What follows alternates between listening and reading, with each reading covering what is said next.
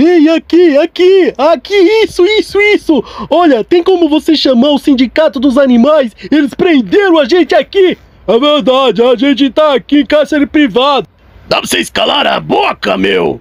Aqui tem comida de graça! Não liga pra eles não, eles são muito burros! Ó, oh, deixa eu te falar uma coisa! Vai embora logo, tchau!